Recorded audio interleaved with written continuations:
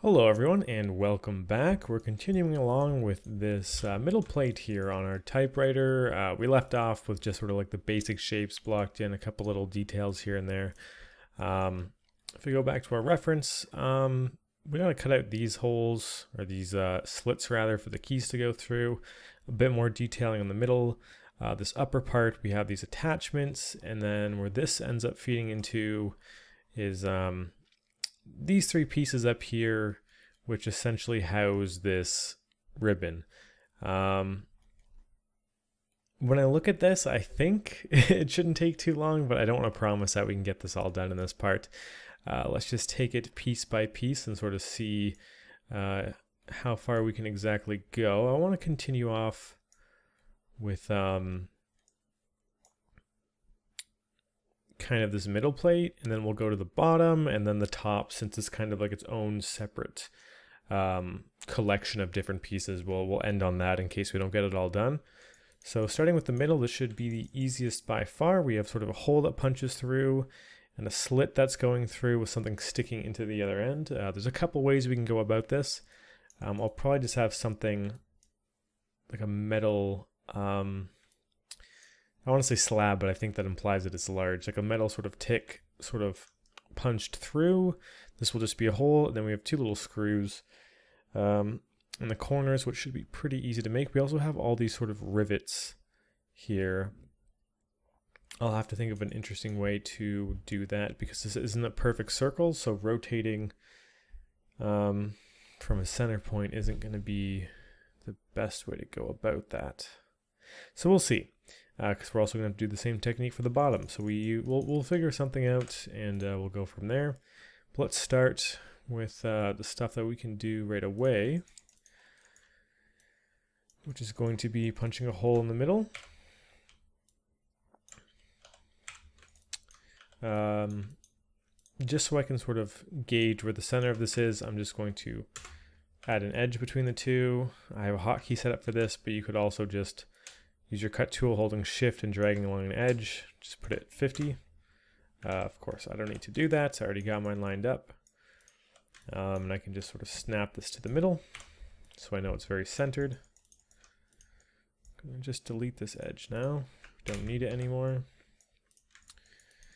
Um, let's see. They seem to be a bit smaller than the screws, but it's still taking up a decent amount of space. Makes me feel like we might need to make this a bit larger, but for now I'll leave it the way it is. Either that or we gotta make these screws bigger, which would probably be the easier solution.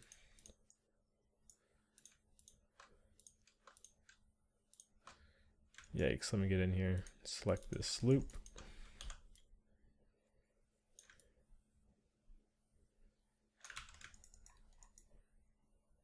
Interesting. Okay, so these are two separate things. Let's select both of these pieces and then with our mouse off of everything, go to faces, which should mean we can select faces or both of these. I'm selecting both of these loops, extending it about that much bigger. Some weird stuff going on here. What is this face?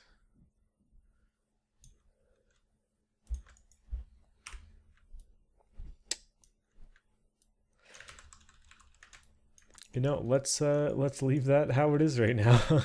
I could tell what was going on. It's just because these edges are not connected and there's too much loose geometry.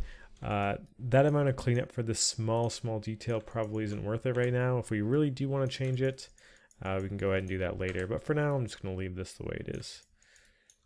Let's just focus on getting this hole in here. Have it punching through. And then we should also get this other cut at the same time.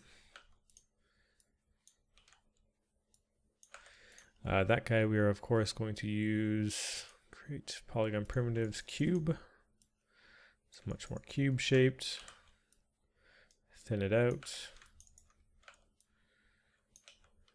Seems to be straight on and pretty small. a bit down and off to the side.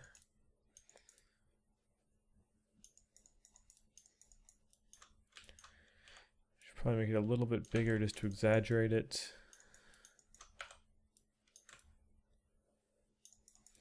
Let's go ahead and combine these guys and do a nice boolean mesh. So freeze transform delete history first. Open our bool tool. Uh, new boolean operation. Clean up, delete history and base objects. Did a nice clean cut through for us. Um, so like I was saying, what I'm imagining this is is some sort of tab sticking through and then something like hugging the back. Um, I'm not entirely sure what that would be or why it would be there. I'm just going to kind of play with the idea for now and see if we can make something that kind of looks cool with it. So let's start by sort of plugging this hole up. So I'm just vertex snapping a cube uh, in order to match the scale of this guy.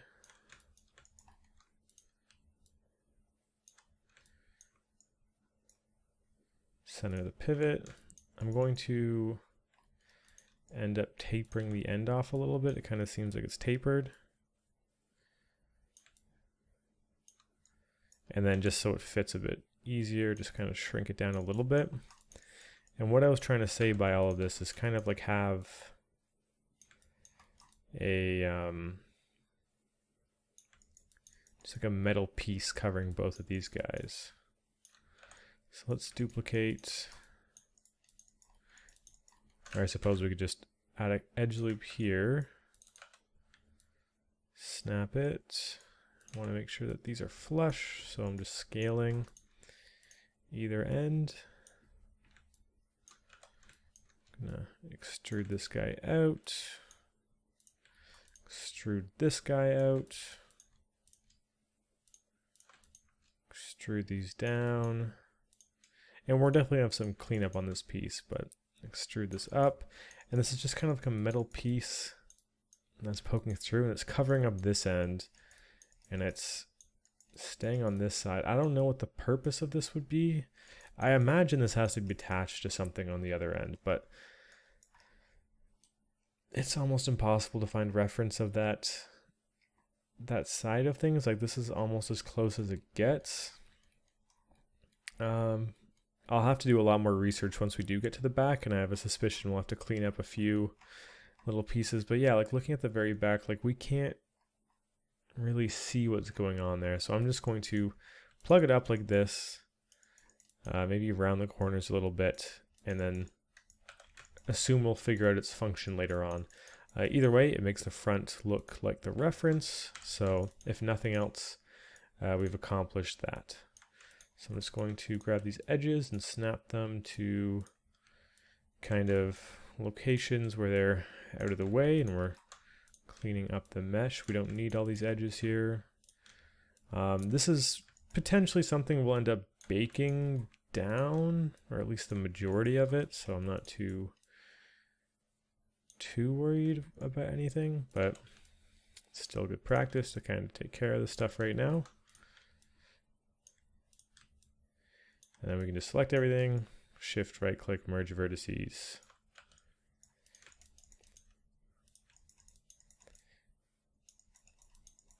Like I said, maybe I could imagine like a logo or something being like printed onto here.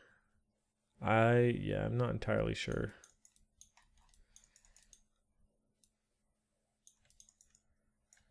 Seems like some funky business is going on. I guess those weren't welded, perhaps?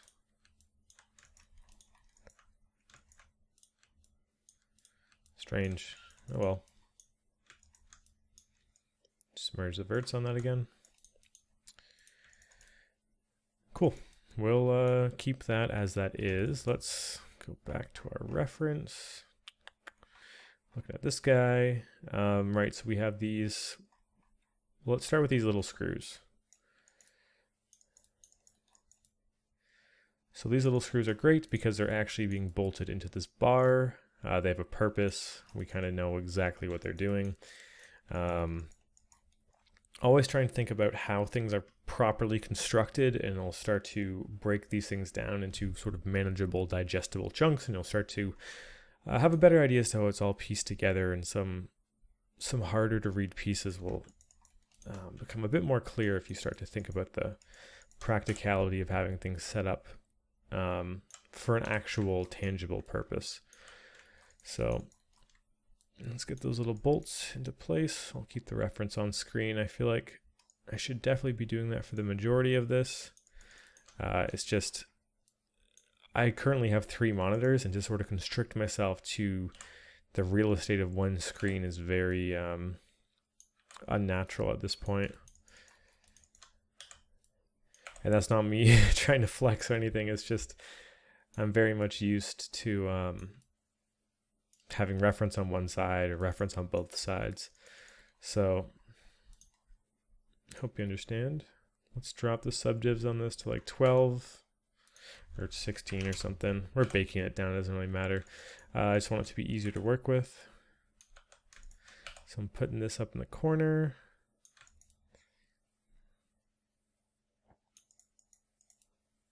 Technically, this isn't really lined up. So let's actually punch it through so then we can just have a screw going all the way in.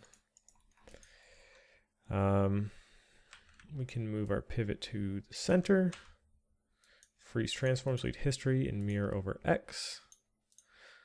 Um, and then we can just do our standard Boolean operation. New Boolean operation, delete history and base objects.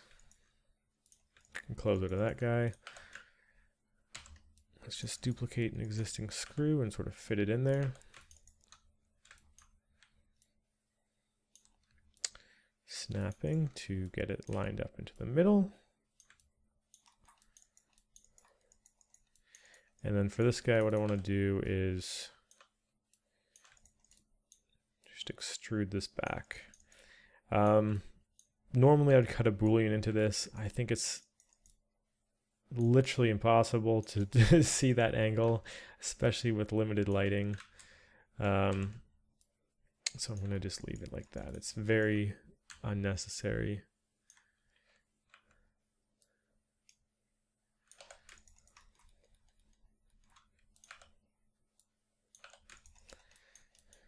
Okay, we got those guys in there. Cool. Let's focus on getting this kind of lined pattern. Um, so I haven't really put a ton of thought into how exactly I'm going to approach this other than knowing we're going to have to do a little bit of math. Uh, that's not too surprising, but it's also um, something I might pause the video for if I don't figure it out too quickly, but it should, shouldn't be too complicated. It's essentially going to be a series of Boolean cuts, very shallow, cuts, making sure it's not going all the way through. And in theory, this shouldn't work because it's not a perfect circle. But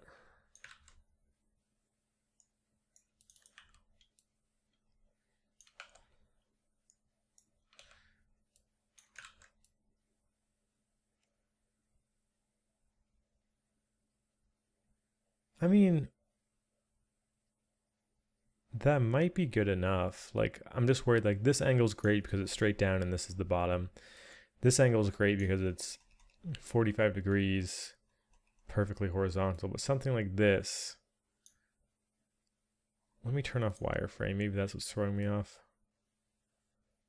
I suppose these cuts should be good. So let me show you how I would sort of figure out how to space these guys out properly. So I've counted the amount of cuts here is 42. Let's start by rotating this guy so he's at a perfect 45 degree angle. Uh, I also, of course, want to skinny him out a lot. It's definitely way too thick. So I want to freeze transform, delete history, and we need to have 42 cuts between here and 180 degrees. I might actually make it less because if we look, the cuts aren't completely from one side to another. So let's have it start at minus 5 degrees and go all the way to, what would this be?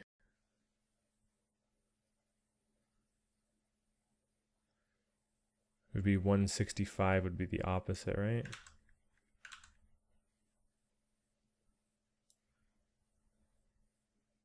One seventy?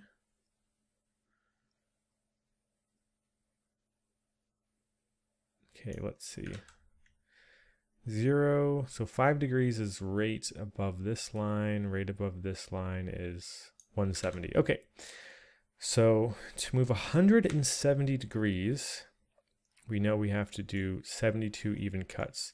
So let's go to file, or sorry, edit, duplicate special, um, rotate, we are rotating along Z, goes X, Y, Z. So we have to rotate 170 degrees. Um, and the number of copies we want between there is 42. So let's apply that.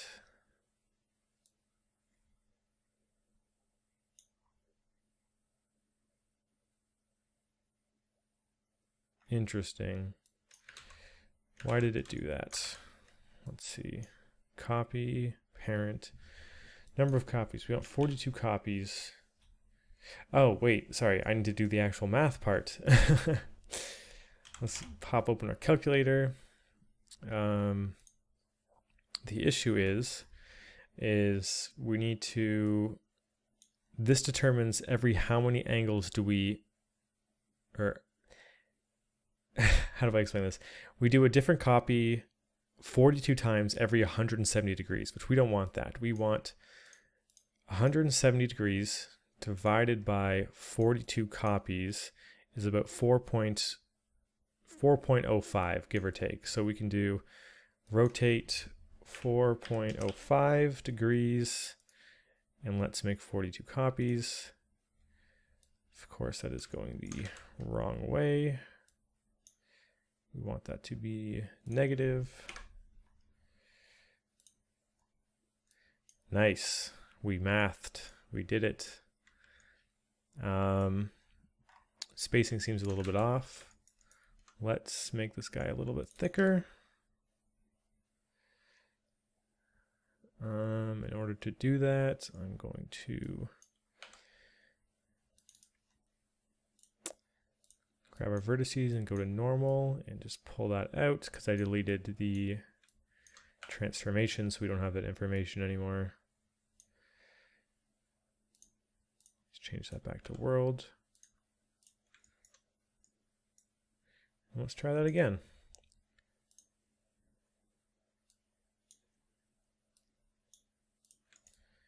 So that seems pretty good to me. My issues are that the spaces between here and the spaces between here aren't totally even just because this is like a perfect circle. Well, this isn't. But the catch to that is we might be able to mesh combine these guys um, and squish it to match the shape. And this totally works. This works too. Because we ended up squishing a circle to create this shape. Um, wow, this is working out so much better than I than I honestly thought. Um, I'm going to go into my front view and just isolate these guys so I have a better idea as to what's going on. Excuse me. I just want to make sure the spaces seem all relatively even, which they do. Wow, this seemed to turn out really good. Um, let's, before I celebrate too much, let's actually do the Boolean operation and see how that holds up. I don't know if I want to cut in all the way. Let's let's start by cutting in all the way and see how that turns out. Um, Right, let's go ahead and freeze transform, delete history, open up our Boolean, And let's save before we do anything, just in case something blows up. Okay, let's go ahead and do this. New Boolean operation. This is a bit deep, so what I'm going to do is just pull this guy a bit forward. Right, because I'm trying to get these grooves, and they do seem decently deep, but like not super pressed through. And they're going to shallow out when we do end up smoothing it in ZBrush, so I'm not trying to do anything too crazy. Uh, and this is all going to be baked down, so. Okay, let me see one last thing. I'm going to do our little trick where we grab the vertices and move them by normal, which is definitely going to chug this computer. But I want to get it to be a bit more even.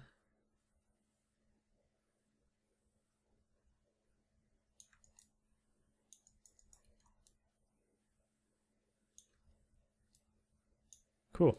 Go back to world, clean up, delete history, and base objects.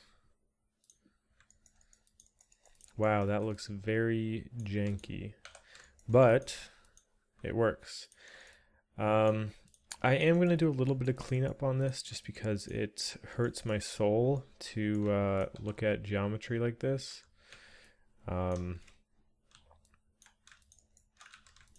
oh my goodness, this is horrible. Oof, okay, thank God we don't have to actually use this. And we can just bake it down. The thing is, we are going to technically have to reuse this geometry when we make our low poly. Um, and that's why I'm just going to quickly clean this up. This is just going to be a super quick pass. Um, and the reason, yeah, I'm doing this is because we will kind of repurpose this later on. Um, so if we don't do this now, we'll have to do it later. Might as well just bite the bullet and get it done. And I'm just snapping these verts that are like really close to each other, but not actually um, merged, which seems to be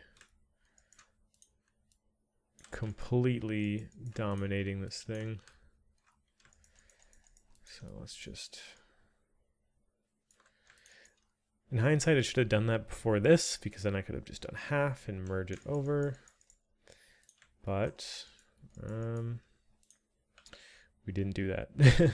so I can't really go back. Um,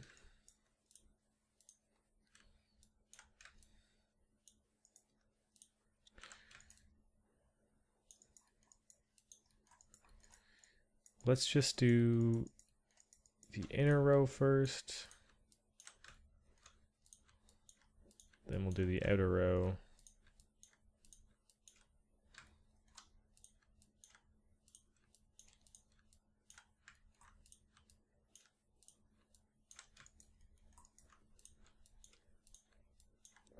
Not too much I can really commentate on here. So it might be a little bit dry. Um, just very basic stuff. I might even go ahead and just speed up this part. So uh, if you had the same issue, just go ahead and uh, vertex snap everything on top of each other. Do a nice little cover of your entire mesh. Um, put on some good music or something.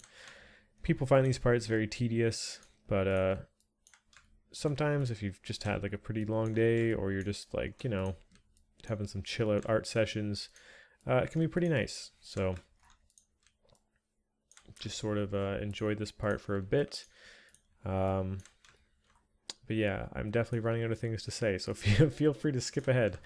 Uh, you know exactly what's going on right now. I'm just going to continue with this. Um,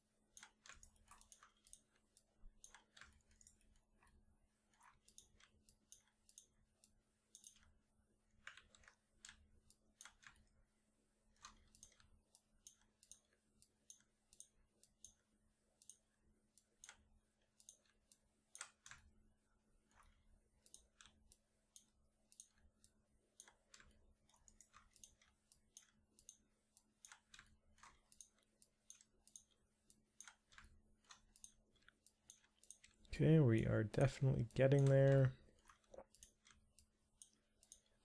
Eventually, then we still have to do the outside ring, so not really.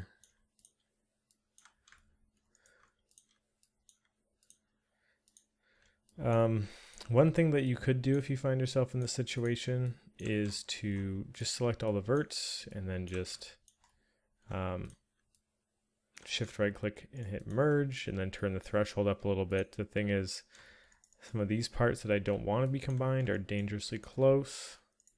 This one I would just do it for, but some of them uh, not so much.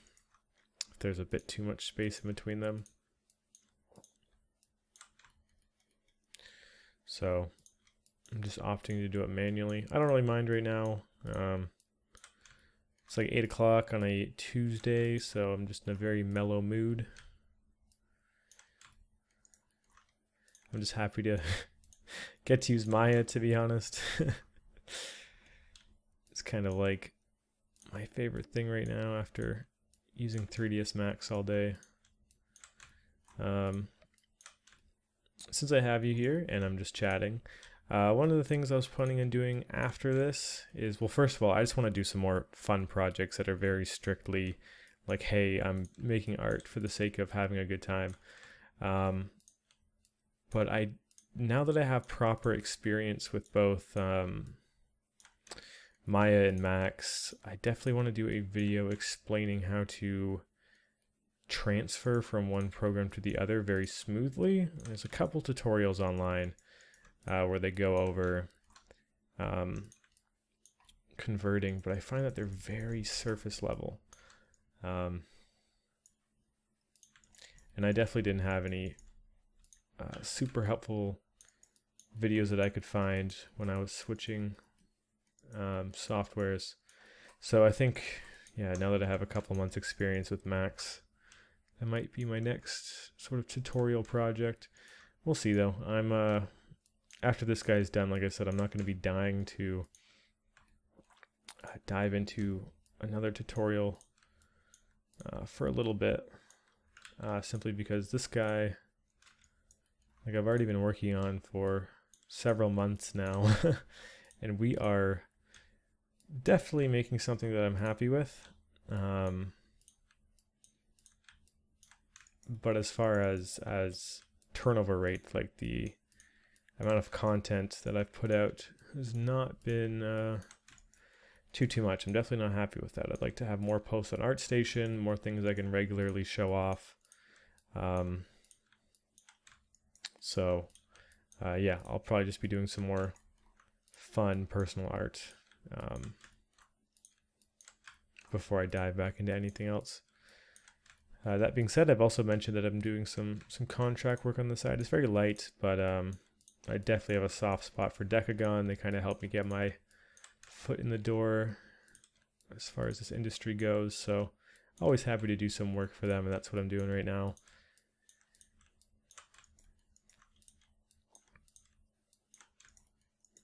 Always keeping busy. I don't know. You have to kind of really kind of live and breathe this stuff because it just changes so much so fast, right? So I'm kind of always Always juggling too many projects at the same time.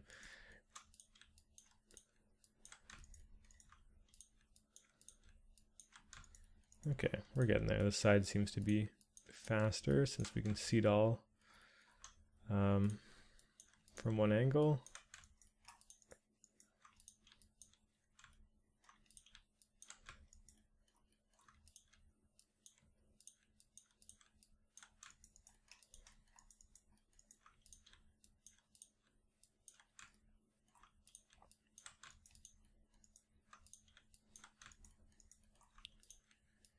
Okay.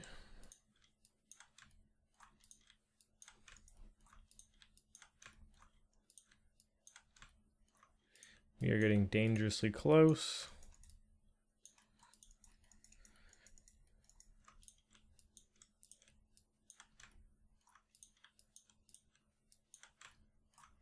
So we're going to have to do this at the bottom again. I'll make sure I don't do a similar mistake because this uh, is a little bit too time consuming.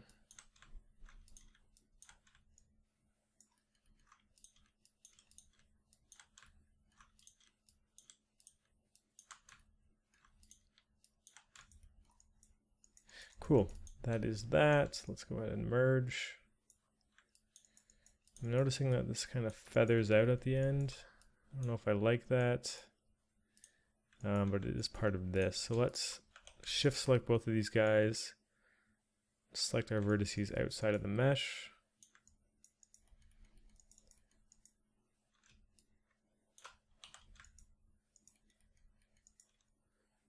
I'm going to scale this out.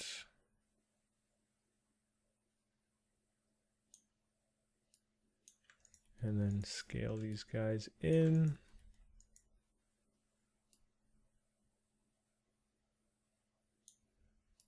Just trying to round this out more than anything.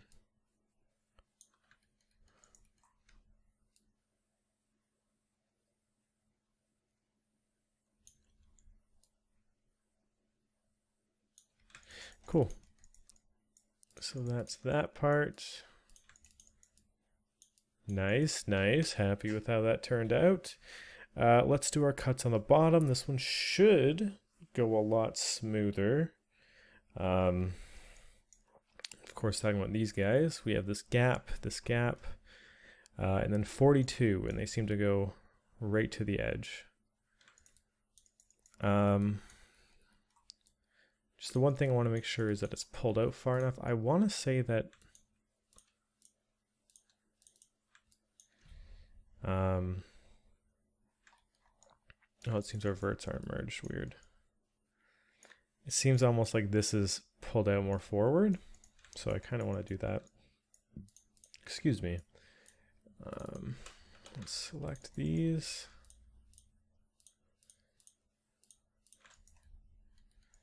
I feel like, uh, honestly, like I, I've been trying to avoid talking about it, but I feel like I've been burping a lot in these videos, so I'm very sorry about that. Okay, let's pull that forward a bit. Seems to match the reference a little bit better, to be honest. Have to pull these guys forward too. This is still not very round.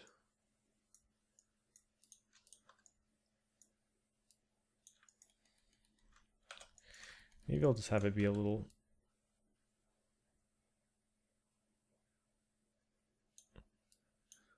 slightly different and manually do it on each side.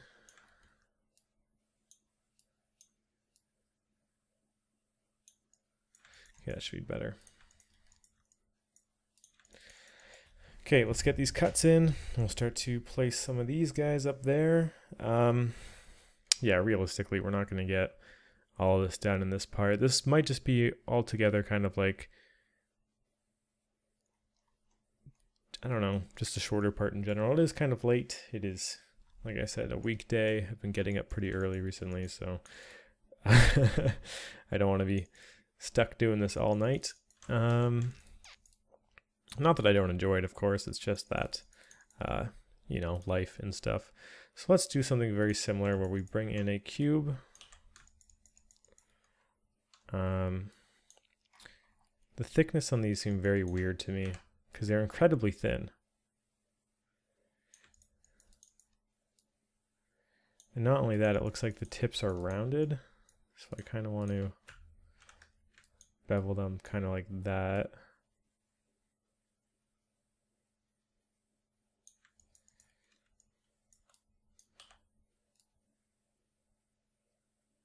skinny it up.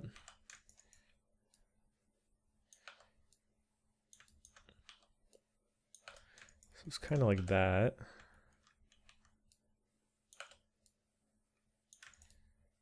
And it cuts all the way through because the keys are feeding into it from the other side.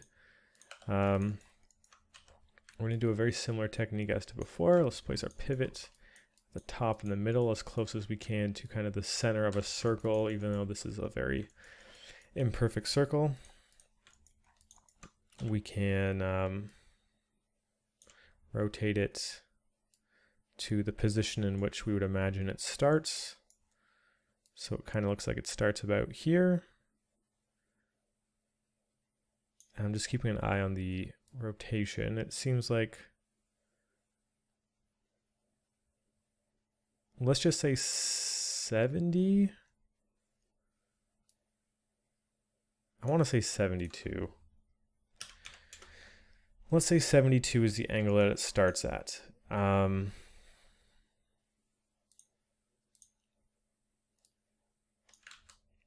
and then it would end at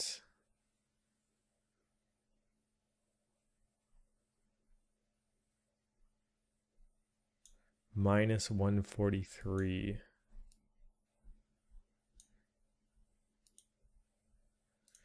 So we're moving it negative 143 degrees, or should I just round that to a negative 144? We're moving it negative 144 degrees. Let's do some math. Uh, 144 divided by the 42 times we have to do it means that we're moving it 3.42 uh, 3.428 degrees for every time we duplicate it 42 times to get it to that position. Wow, math, very exciting. Uh, as long as our pivot's in the right spot, we should be good to duplicate special, hit the options box, and um, change this number to minus 3.43. And we should be able to apply. It does that almost perfectly because we, of course, don't have a perfect circle here.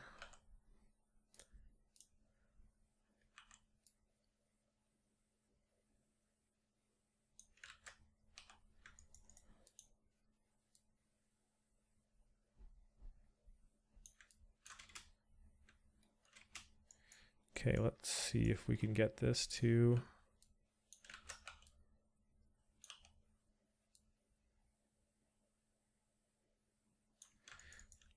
trying to find equal distance here.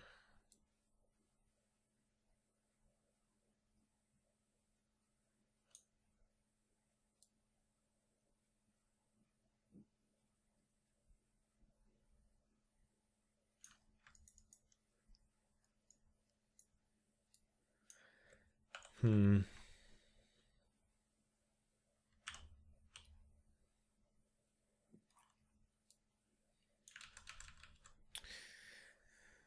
Trying to find a way to evenly move them all to the middle. Um, because there's the obvious, like, oh, I could manually pull it in, but at that point, there's no point in doing the smart duplicate. So this is what we originally got. I'm wondering if we can do sort of like a deformer, if I can go to like a deform nonlinear bend and then see if we can bend it in a weird way. Um, obviously this is very incorrect. Let's rotate it 90 degrees. Maybe turn that upside down actually.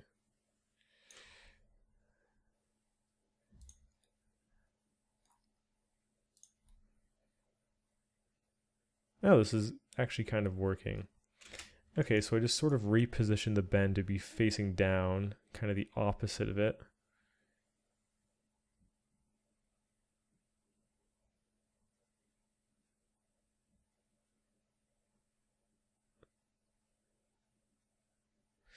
I just want to bend it so that this is even.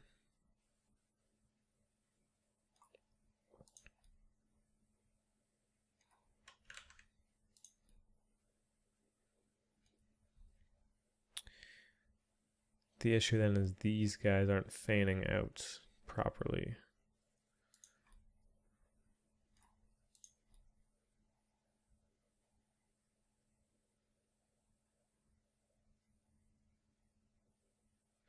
Let me just try delete history to get rid of that guy. Pull it up, scale it in.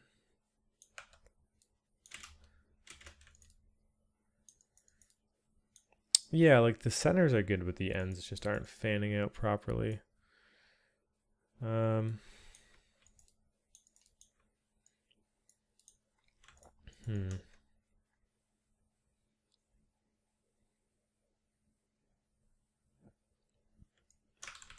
Let's just press Control Z a bunch.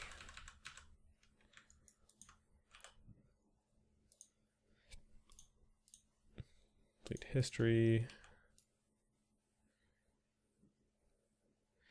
I mean, I suppose that... I can't believe I didn't try that. Just literally scaling it horizontally rather than vertically literally solves everything. At least we thought of some unique ways to sort of go about it. And yes, these aren't all perfectly even. Um, but I really don't think that matters. It's very, very minimal. Um,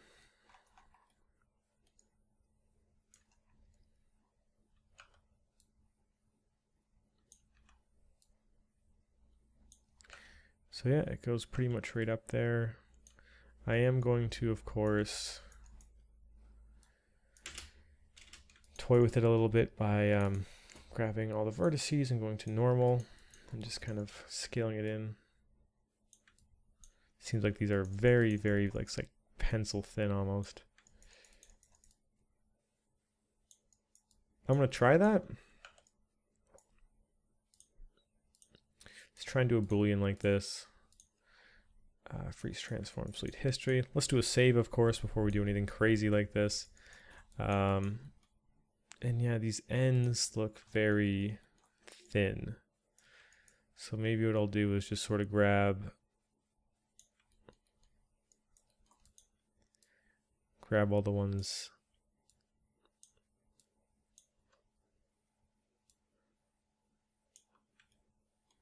about yay far. This is one, two, three, four, five, six away. One, two, three, four, five, six. We'll grab this guy. We'll grab normal.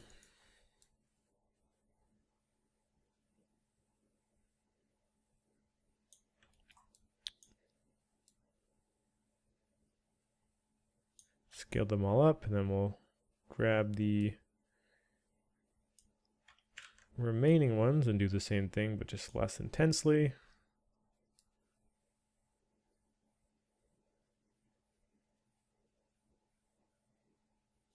So they're a bit more uniform now. So in theory, they're not 100% perfect, but they are pretty damn close, um, which is good enough for me. Scale this in, so it's a bit of a tighter fit. Um, but more than anything, we should just give it a shot. Let's go ahead and save in case this totally blows up in our face. Let's grab our boolean, DC bool manager, click, shift click our bool mesh, new boolean operation. And that guy cuts pretty clean. That's looking pretty, uh,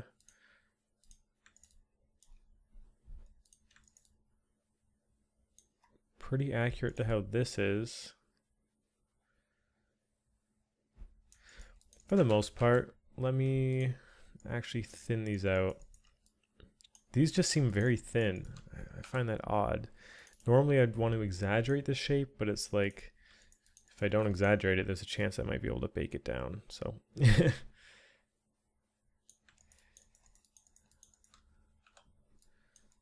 delete history and base objects. Like that's the same, right?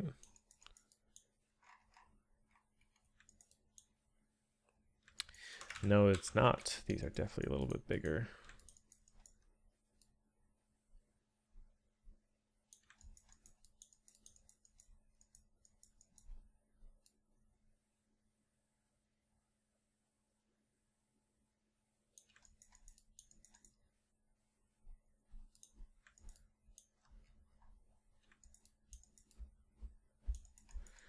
Okay, I think I finally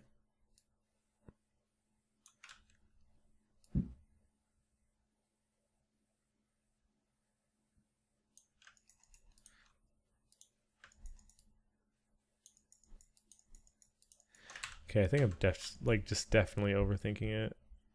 They need to be big enough to fit something through it. Let's go with that. um,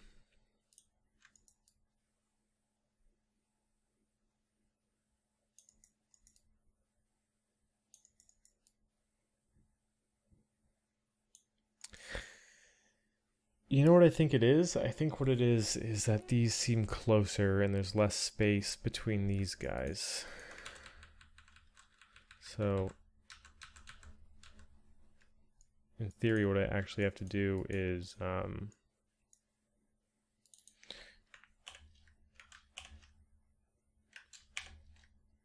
let me delete everything and let's just kind of do this, which I know is annoying, um, but let me just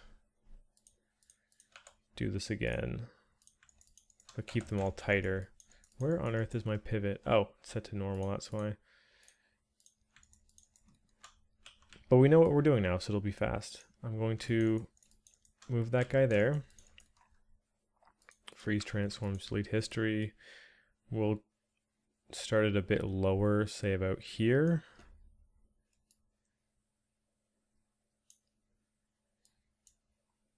Something even like 67 degrees. Or even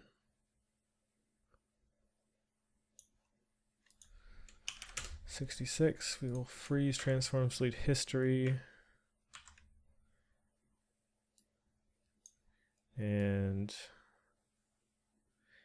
to be in the same spot on the other side, it moves minus 132 degrees. So, calculator. 132 degrees divided by our 42 movements is 6.2. Okay. So we can do edit, uh, duplicate special. I just forgot what the number was. Why would I close it?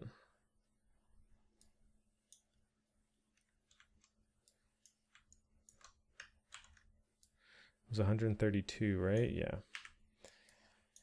132 divided by 42 is 3.15.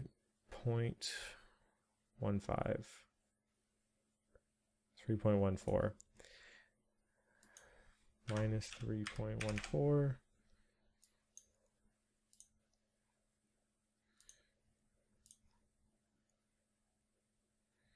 One, two, three, one, two, three. Um,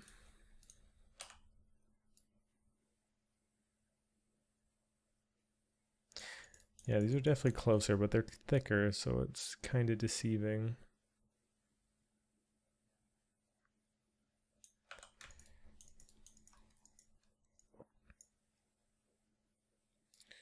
but they're lower down, so they have less space. Let's go ahead and thin them out.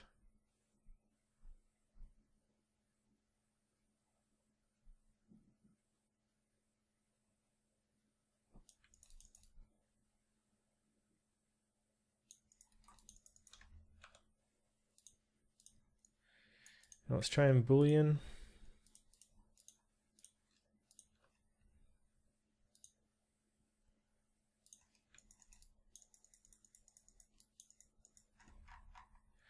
I mean, I'm definitely happier, um, happier with the amount of space that's in between them. Like if I turn off wireframe, that seems like a nice density.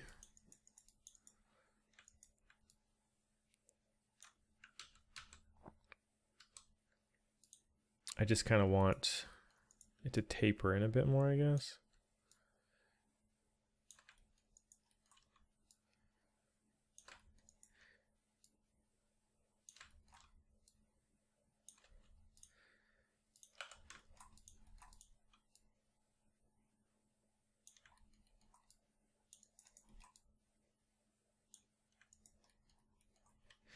And if I hit Control Shift I, I can select the bottom ones, just inverting the selection. I can make that a bit bigger. Um, go ahead and delete history and base objects. There we go. That's something I'm much more happy with. Nice. Nice, looking good. Okay.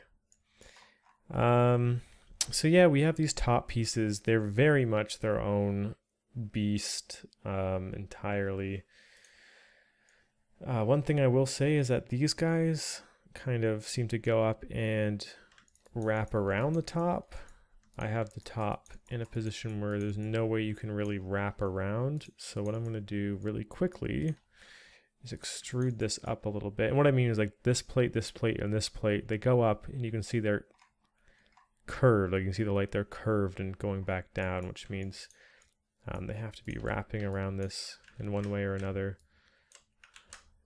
So um, I need to let it be physically possible because we can't wrap underneath if this is literally pressed against it. Um, so let me clean this up a little bit and then we can sort of extrude it up. So when we do get to that part, probably um, definitely in the next uh, video, we have some sort of place to wrap it around. But the exciting part is, um, if next video we get all this stuff done, which we, we definitely should, like this is something we can duplicate over, this seems very simple, and then this is a little bit more complicated, but it's 100% going to get done in less than an hour. Um, once we get that done, we are actually doing the keyboard. And the keyboard is the last part because it goes into the back and all of that. And it's going to take a while, of course, but like that is literally it. That is the the last part and then we're done this phase and we're moving into ZBrush. So it's like so within our grasp. Um, that's freaking awesome. Very cool. So yeah, I clean that up so that I can literally just extrude this up a little bit. So then when we have those pieces, they can wrap around the back and get sort of tucked in there. Uh, that's pretty much it, to be honest.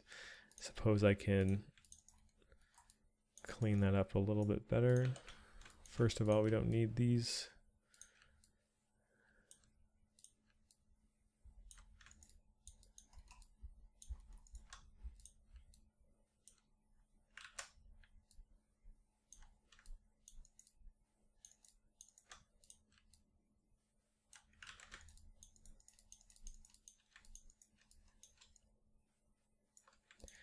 There's the verts. This stuff could also be cleaned up.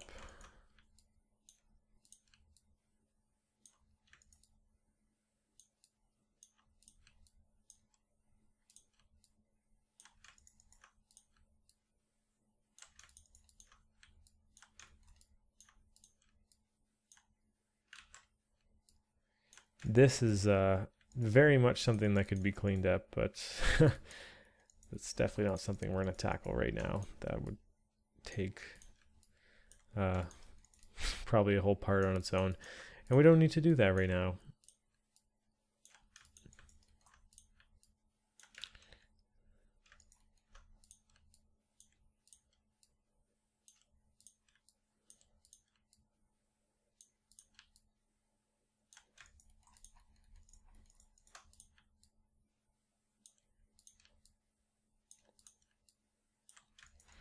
Cool, cool. Merge those guys up.